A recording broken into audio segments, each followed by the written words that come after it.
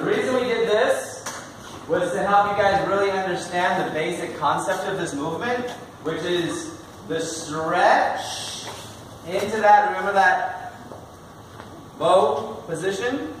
And then the culmination into that triple. And I use those two fingers off my center.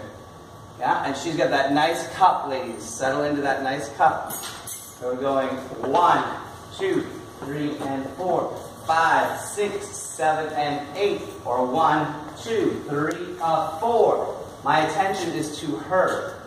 Right? I'm looking for her. What's her response? Ah, got her. Nice, she's with me.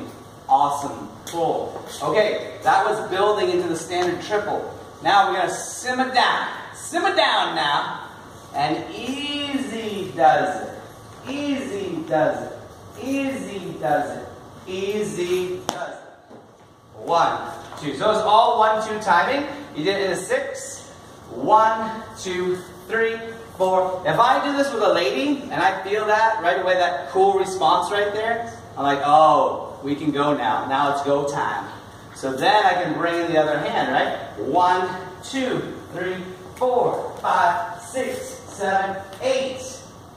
One, two, three, and four. And if I still have her, she's that well balanced, I may windmill, do something interesting here, scoop, and let her go around if she'll wait for me. One, two, three, four, five, six, seven, eight. Right? All repetitive motion. All one, two, one, two, one, two.